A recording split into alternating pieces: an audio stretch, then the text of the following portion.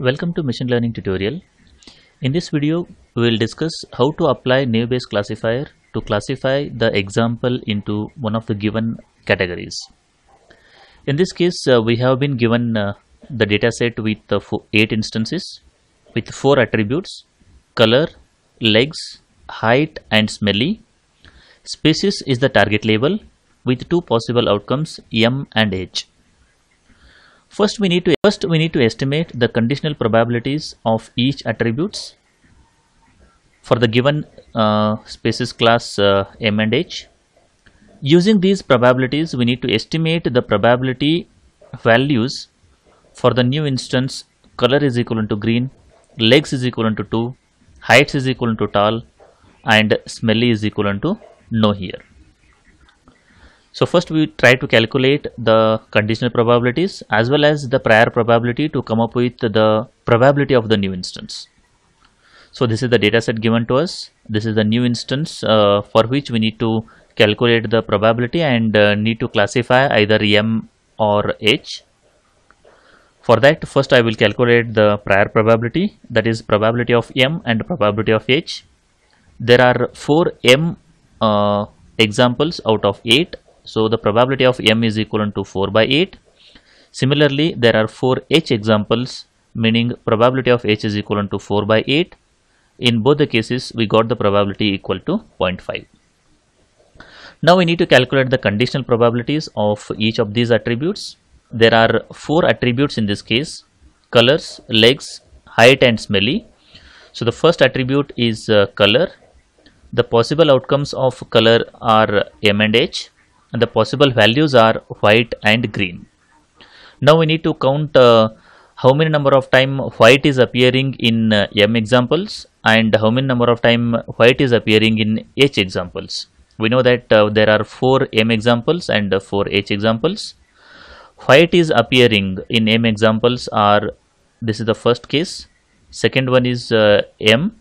So white is appearing uh, two times in m examples and white is appearing three times in each examples over here. So 3 by 4 similarly we need to find find out for uh, green also. So green m green m and green h. So two times it is appearing in m and one time it is appearing in h. Similarly we will do it for uh, legs. There are two possible cases uh, 3 and 2 and uh, the possible outcomes are m and h again we need to count uh, how many number of times uh, 2 is appearing in m and how many number of times it is appearing in h. So if you count it uh, 2 is appearing 1 times in m examples and 4 times in h examples. Similarly the legs 3 is appearing uh, 3 times in m examples and 0 number of times in h examples. With the same note we need to calculate the conditional probabilities of uh, height two possible outcomes tall and short tall is appearing 3 times in m examples that is 3 by 4 2 times in h examples that is 2 by 4 is the probability. Short is appearing one time in uh, m examples that is 1 by 4 and uh, short is appearing two times in h that is 2 by 4 similarly uh, smelly is the last attribute. Yes and no are the two possible outcomes. Yes is appearing three times in uh, m examples that's the reason uh, 3 by 4 is the probability one time in h that is the reason 1 by 4 is the probability here. Similarly no is appearing one times in m that is uh, 1 by 4 is the conditional probability and uh, 3 times in h so 3 by 4 is the conditional probability.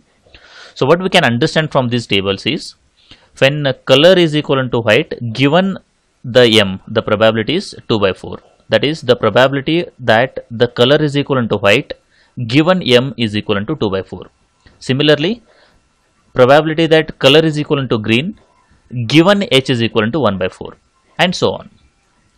Now, uh, we need to calculate uh, the probability of uh, the new instance and then we need to classify this new instance into either m or h using uh, these uh, prior probabilities and conditional probabilities. So, we have already calculated the prior probabilities. These are the conditional probabilities of uh, individual attributes probability of uh, probability that the new instance belongs to m is always equivalent to probability of m multiplied by probability of this instance. The instance is what? Uh, it, it, it has been given that color is equivalent to green given m. Legs is equivalent to 2 given m. Height is equivalent to tall given m. Smelly is equivalent to no given m. So this is what is given to us so we need to put the values here. We will get the probability that the new instance is classified as m as uh, 0.0117 similarly we need to calculate uh, the probability that new instance is classified as h here.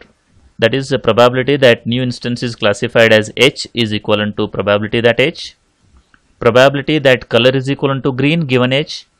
Probability that legs is equivalent to 2 given h probability that height is equivalent to tall given h probability that smell is equivalent to no given h put the values you will get the answer as 0.047 now we need to compare these two probabilities that is the probability that new instance is classified as m and the probability that new instance is classified as h. In this case, the probability that the new instance classified as h is more than the probability that a new instance is classified as m.